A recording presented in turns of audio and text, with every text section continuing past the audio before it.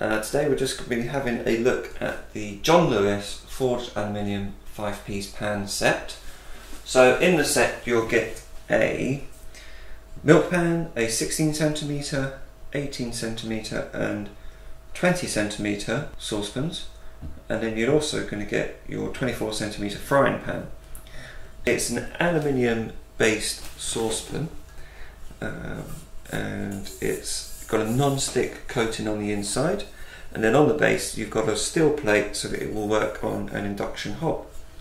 Also the steel plate is going to spread the heat around the saucepan as well.